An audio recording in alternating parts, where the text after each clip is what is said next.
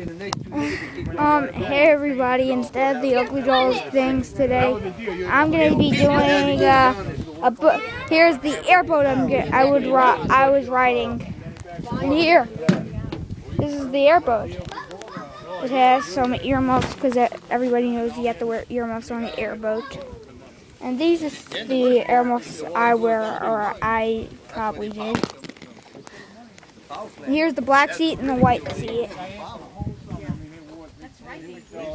And here's the front and the thing to put life jackets and all that stuff in there.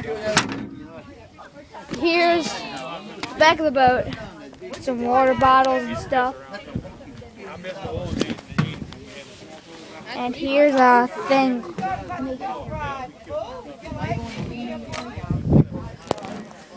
Here, and here's the thing where you can use or whatever. This is pretty much the airboat, so you can come down here and ride on the airboat just like I did. And I went to another place that was made out of wood. Besides, this is Louisiana. Besides, I was going to get a little baby alligator video, but my mom said I couldn't bring my iPod Touch out here because she was afraid this was getting gonna get out here. Yes, I live in live in Louisiana, and my mom was afraid um, I'd drop it in. So yeah, this is the airboat, and you can also control it it with the rope.